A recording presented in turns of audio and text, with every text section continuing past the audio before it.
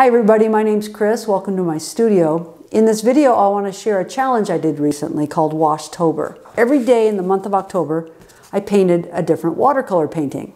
I was given a list of prompts and painted that word every day. Some of the paintings turned out pretty good, some of them not so good. But I'd like to share with you the lessons I learned along the way.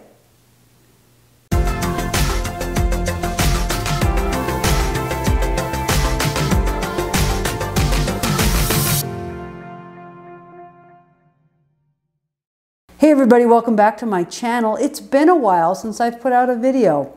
And that's mostly because for the last month, the month of October, I have been doing a challenge, a paint everyday challenge called Washtober. Uh, Washtober was invented, I think, by uh, another painter, watercolor artist in Israel. His name is Liron, and I follow him. And when he posted early, uh, or actually late in September, that he was going to do this, I decided I'm going to do it. I'm going to paint every day. So here's a list of prompts that Liron created. He put them out on the internet. And uh, you can see it's just 31 words uh, that are provided to give you a prompt, a maybe inspiration on what to paint. And you can interpret the word any way you want. And so when you look at other people's work, it's really interesting because you can see how other people interpret the word or what they decide to paint. So it's fun. So uh, for this particular challenge, I decided to uh, paint in my sketchbooks. I, I had one sketchbook I was still using, and so I finished that one, and then I moved on to a second one, and I'm going to talk a little bit about those when I get to them. And I also started out uh, just on uh, individual pieces of 140 pound Arches watercolor paper, which is what you see here. So um, not super organized, like I was painting on different types of paper and all that, but it's okay because I was painting every day. And so that's what's important. So here's my very first painting in Washtober. The word was leaf. And there you go. I love using highly uh, complementary colors like the orange and the blue here. And uh, I liked how this turned out and did a little splashing of paint around the edges this was my first one. The next word was ridge, which is a little bit um, less specific. You could interpret that word lots of ways. And so when I think of ridge, I think of a mountain near where I live, Mount Shuksan. It has a beautiful ridge line to it. And so I went ahead and painted that. This is one of my favorite paintings in the whole series. And I like the diffuse color, kind of soft color in the mountains that aerial perspective because it's far away, and then it gets a little more um, vibrant as you get closer. This was the word ridge. After doing those two first paintings on loose paper, I decided to move into this sketchbook. And the third word was the word study.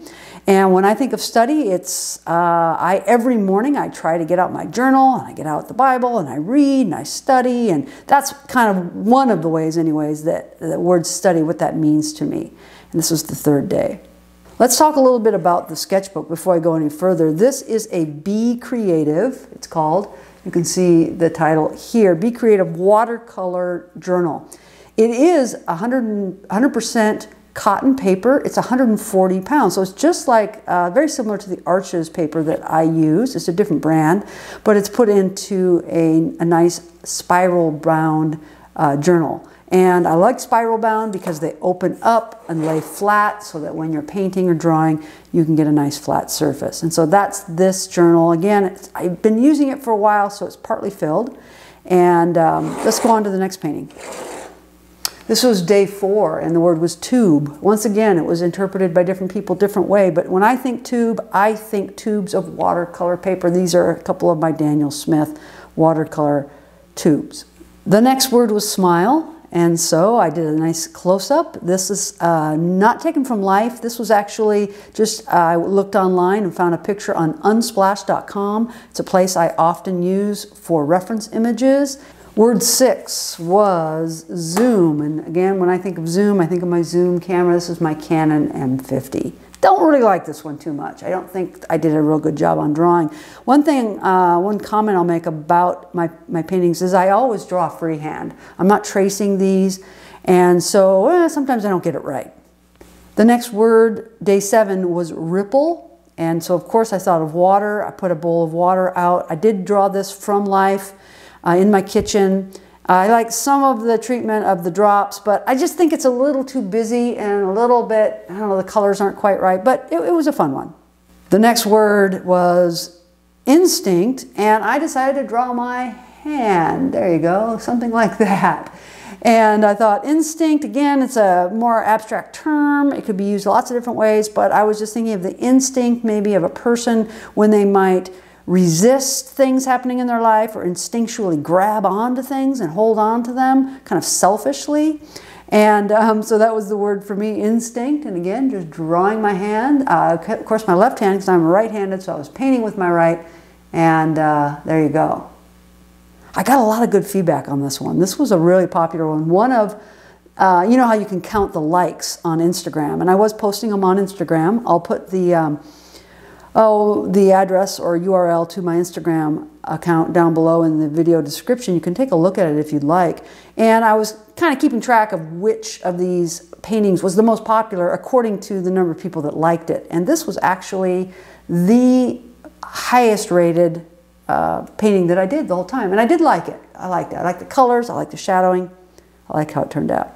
And it's funny how when you get one that's really good, then you follow it up with ugh, something you don't like. And this, I didn't like either of these. The word was sun. I did this one first, didn't like it at all. Tried to do a sunflower for the word sun. You know, I had a lot of people like this one, but I just did not like it at all. And that goes to show you that just because you don't like something doesn't mean that others won't. I was I once again really surprised and I put it online and all of a sudden everyone started liking it. And I was like, all right, I guess other people like it. So don't um, at least be open, I guess I should say, to the opinions of other people and whether they like your work or not, um, because others may really enjoy even something you don't like that much.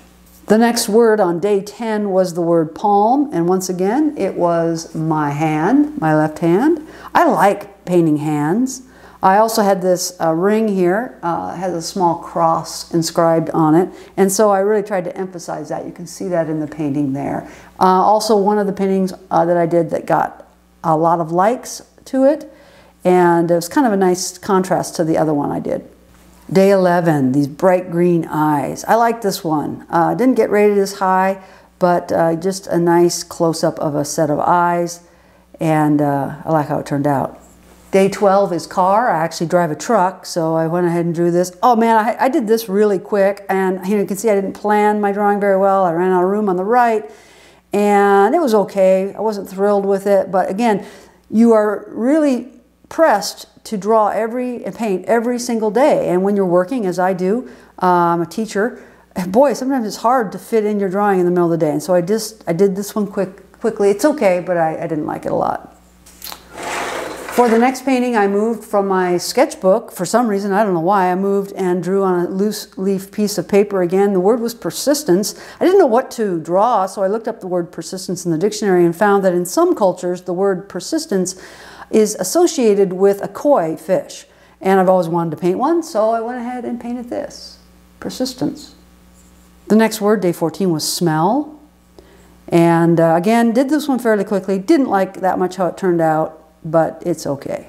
Now, here's a spread of uh, paintings that I liked a lot. Uh, day 15 was the word mailbox, and I really like the high contrast here between the really dark background and the lighter parts of the mailbox. It really causes the mailbox to really stand out. And uh, I just, I like how it worked. I like the colors. I liked everything about it. Got a lot of good feedback on this. One thing I want to talk about as I go through these as well is just some of the things I learned uh, and some of the benefits, I guess, of doing a challenge like this. And, and really one of those things is just the fact that you're painting every day. You are forcing yourself to paint every day, whether you feel like it or not. The downside of that is sometimes you feel rushed and some of your work isn't that good, but you know, that's just the way it is. Not every painting turns out. Um, and then sometimes you come across something like this and you really like how it turned out a lot, a lot. The next one as well is one that I really like, how it turned out real realistic, which isn't always the way I paint, but this is a dart frog, poison dart frog, and the word was dart on day 16, and so I painted this. Again, I didn't want to do a basic like dart, uh, like you throw against a dartboard, so I thought of something different, and I really like this one a lot and got great feedback, bright colors. I like to use bright colors. But by painting every day, one of those benefits again is just that you get lots of brush miles is what people like to say. Just that's the way you learn is lots and lots of practice. So that's the first benefit. The next word was phone on the 17th day, and this is, I wanted to do something um, different than my cell phone or whatever, and so I thought of a phone that we had on our wall when we were kids, Harvest Gold, hung on the wall, and it was just kind of uh, nostalgic. Uh, again, another benefit of doing these uh, painting challenges is that uh, you don't have to think about what to paint. You know, the word is given to you, and so you don't spend a lot of time uh, don't waste a lot of time deciding what to paint. You just paint the word that's given to you. And uh, so, uh, again, another benefit of doing this painting everyday challenge. I highly recommend it. The next word, day 18, was actually the word nostalgic. And boy, again, a word that could be interpreted lots of ways, but I, I looked around my house because, again, I like to paint from real life if I can. And uh, I saw this painting sitting on, or, or portrait, actually a picture, a photograph, sitting on a table in my living room, and it's of my mom and her uh, four granddaughters. And I just always loved this painting so much. It means so much to me. And so it's very nostalgic because uh, my mom is no longer with us. These little girls now are all in their 20s, all grown up. And, but I still uh, love this picture a lot. And so it, to me, it is nostalgic. The next word was letter, and so I had a letter sitting on my desk, and so I just painted it real quick. Another one where I, I really was pressed for time, didn't spend a lot of time on this one at all. It was a very quick sketch, uh, but I was painting, and that's good. I was painting every day. I never missed a day in this entire thing, and so I'm pretty proud of myself for that. The next word on day 20 was focus. So I held up my Canon M50 in front of a mirror and took a picture of myself focusing the lens on that. Again, focusing on hands because I like to focus on hands, and, um, and the word is focus. Yeah, and I really got a lot of good feedback on this one as well. Uh, as well. It was a real popular one. Another benefit of this kind of challenge is that you're painting in community. And so every one of these paintings, I scanned them and put them on Instagram, put the hashtag for Zoomtober, or sorry, um, for Washtober 2020. Uh, again, that uh, link to those uh, Instagram pages will be shared below. And when you do that, you get a lot of positive feedback from people, which can be very encouraging. Another one of my favorite ones was day 21, jeans. And again, I like to focus a bit more on details as opposed to painting the entire uh, pair of jeans. I decided to focus just on the back, back pocket and especially this uh, label, which uh, is kind of iconic uh, for Levi 501 uh, jeans. And um, I think they're pretty recognizable when you look at this. Day 22 was the word vase, and so again, painting from life in this painting, and I like to do that whenever possible. The next word was mystical. Again, a difficult word. It could be interpreted lots of ways. I had done this painting actually a couple days before, so I kind of cheated. It wasn't on that day. And I, it was done actually for my church, for an Advent kind of theme where you see light in the darkness. I don't know, I, I, couldn't really jive with the word mystical, but I did this instead and I thought it worked. And so this was day 33, or sorry, day 23. And day 24 is the word plan. And so this is, a, again, a picture of my hand. You can see I painted my hand a lot, um, drawing on a plan or a blueprint for my house. This was the very last drawing that I did in this particular uh, journal. Again, this was the uh, Bee Creative Journal, 100% cotton, 140 pound cold pressed paper in a spiral journal. And so I had finished this journal, so I had to move on to the next one. My other journal here is a, if you can read it here, it's a Stillman and Birn beta series six by eight spiral bound cold press paper, but this is not 100% uh, cotton. This is actually mixed media uh, paper, which is a uh, not cotton, but instead a um, cellulose type of paper made from wood pulp. I really don't like it as much uh, as painting on cotton, but I thought I'd give it a try for a sketchbook and I'll have links to both the sketchbooks in the description below. Very first painting I did in this on day 25, the word was card. And I have these dot cards laying around my studio. This is a Daniel Smith uh, dot card. And you just little dots of paint dried on there. And they uh, sell these or give them away so people can try out the different colors on a palette. I like the way this one turned out. The next word was delivery. And so I thought of a guy on a bike delivering food and you can see how that one turned out here. Now, again, this is pretty illustrative of the difficulty I was having when I moved to this non-cotton paper. You can see I got a lot more blooms uh, where the watercolor and the water was blending. It's a lot, it's a little bit harder to paint on non-cotton paper. Now, I was getting the hang of it, and you know, I like to be able to paint on lots of different paper, but uh, I think it's more difficult to paint accurately and, to avoid blooms when you're not on cotton paper. The next word was machine.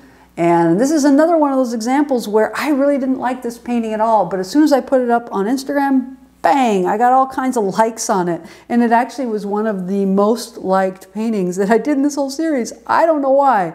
I don't really like it at all. But so, again, other people might like your work more than you do. And so just put it out there and share it with the world. Again, that's another one of the benefits of doing this is uh, just the feedback you can get from other people looking at your work. Gives you a different perspective. This is another spread of, of drawings that I really liked here. Uh, this is the uh, day 28 and the word was bike. Again, focused in on just the front of the bike. I liked what I liked here was the contrast between the orangey colors and the more blue because they're complementary colors. They really tend to pop.